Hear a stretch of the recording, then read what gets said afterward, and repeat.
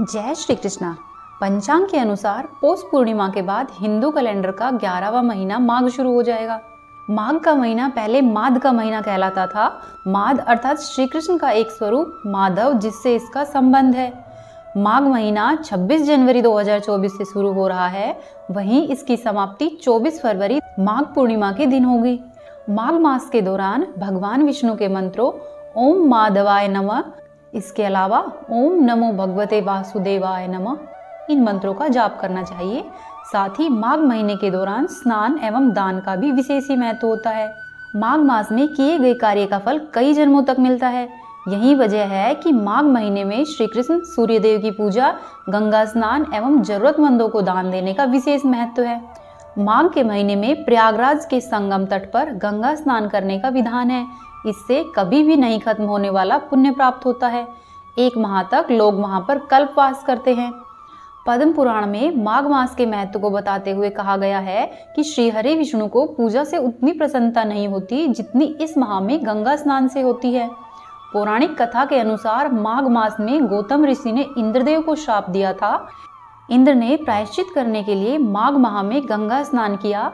इसके बाद इंद्रदेव को गौतम ऋषि के श्राप से मुक्ति मिल गई थी।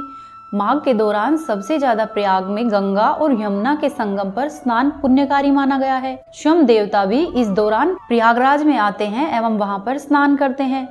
ऐसा कहा भी गया है कि माघ मास से गमिष्यंती गंगा यमुना संगमे ब्रह्मा, विष्णु, महादेव, रुद्रादित्य, मरुदना। अर्थात ब्रह्मा, विष्णु, महादेव, रुद्र, आदित्य तथा मरुदन माघ महीने में गंगा और यमुना के संगम पर गमन करते हैं। लेकिन जो लोग प्रयागराज जाकर लाभ नहीं उठा सकते, उन्हें अपने घर पर ही पानी में गंगा जल डालकर उससे स्नान करना चाहिए एवं भगवान की पूजा अर्चना करके लाभ उठाना चाहिए। जो लोग पूरे महीने भर माघ स्नान नहीं कर सके या माघ के महीने में बाकी नियमों का पालन ना कर सके, उन लोगों को महीने में तीन बार अथवा एक बार कम से कम माघ स्नान करके लाभ ज़रूर उठाना चाहिए। माघ में किए गए तीन स्नान भी दस हज़ार अश्वमेघ यज्ञ के समान फल देने वाले माने गए हैं। इससे व्यक्ति को हर तरह की सिद्धि और हर क्षेत्र में विजय मिलती है। जैसा कि आपको अभी बताया था, माघ के महीने में कल्पवास का विशेष महत्व है। दरअसल माघ के दौरान गंगा यमुना के संगम तट पर निवास करने को कल्पवास कहते हैं। वहाँ पर बड़े बड़े साधु संत रहकर वेद, यज्ञ इत्यादि कार्य करते हैं। अपने अपने मत से कुछ लोग ये कल्पवास पोष माह के शुक्ल पक्ष की एकादशी से शुरू करके माघ माह के शुक्ल पक्ष की एकादशी तक रखते हैं। वहीं कुछ लोग यहाँ पर पोष पूर्णिमा से लेकर माघ माह की पूर्णिमा तक कल्पवास रखते हैं। माघ के महीने में विशेषकर कि माघ पूर्णिमा के दिन जो व्यक्ति किसी सुपात्र ब्राह्मण को ब्रह्म वैव्रत पुराण का दान करता है, उसे ब्रह्मलोक की प्राप्ति होती है। इसके साथ ही जो व्यक्ति माघ में ब्रह्म वैव्रत पुराण का पाठ करता है या माघ मास का महात्म्य पढ़ता है, उस व्यक्ति को जीवन में लाभ ही लाभ मिलता है। माघ माह में तिल दान का भी विशेष ही महत्व होता है। इस महीने में जो भी व्यक्ति तपस्वियों को या ब्राह्मणों को तिल का दान करता है, वह बड़े ही आनंद से जीवन बिताता है। तिल के अलावा इस महीने में गुड़, कंबल और ऊनी वस्त्रों का दान करके भी पुण्य की प्राप्ति होती है। जो लोग अपने परिवार की सुख, शांति और खुशहाली रखना चाहते हैं, उन्हें माघ के दौरान परिवार के साथ मिलकर काले तिलों से हवन करना चाहिए। साथ ही अपने पितरों की शांति के लिए भी किसी पवित्र स्थान पर पितरों को तर्पण करके लाभ उठाना चाहिए। माघ के महीने में अन्न, वस्त्र, तिल, गुड़, कंबल, घी भगवत गीता गेहूँ एवं जल का दान, साथ ही सोना दान करना भी बहुत ही शुभ माना गया है। माघ के महीने में देर तक नहीं सोना चाहिए एवं रोज़ाना स्नान करना चाहिए। तला हुआ भोजन नहीं करना चाहिए, बिस्तर का त्याग करके ज़मीन पर सोना चाहिए। माघ के महीने में मूली एवं धनिए से परहेज रखने चाहिए। माघ मास का संबंध श्री कृष्ण के माधव रूप से है, ऐसे में रोज कान्हा जी की पूजा करनी चाहिए।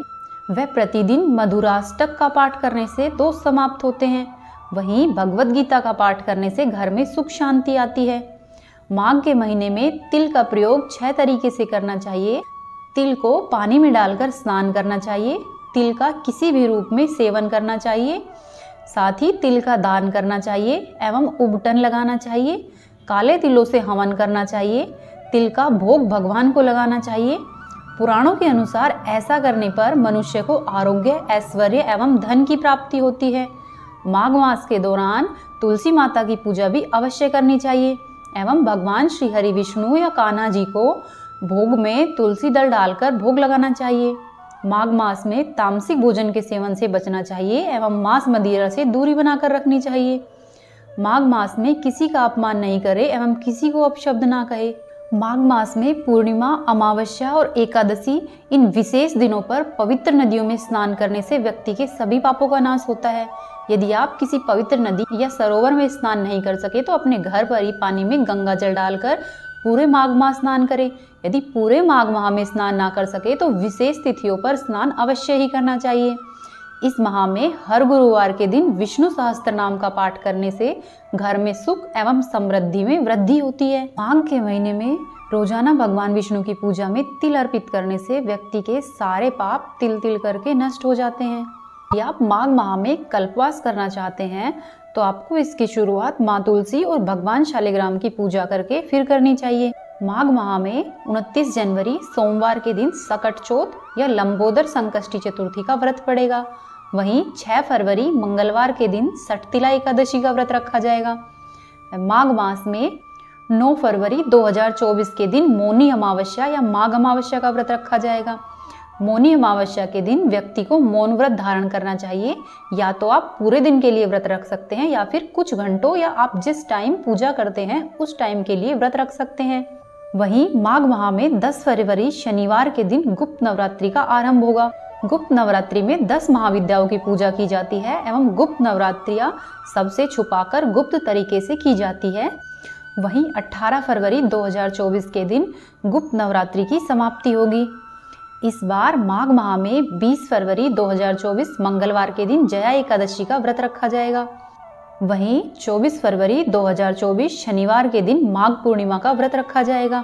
माघ माह में शुक्ल पक्ष की पंचमी तिथि इस बार 14 फरवरी 2024 बुधवार के दिन है। इस दिन माँ सरस्वती का जन्मोत्सव मनाया जाएगा, जिसे कि वसंत पंचमी के नाम से जाना जाता है।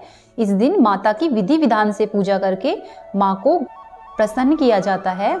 माँ सरस्वती हमें ज्ञान का वरदान देती है, साथ ही जीवन में समस्त सुख एवं वैभव की प्राप्ति होती है।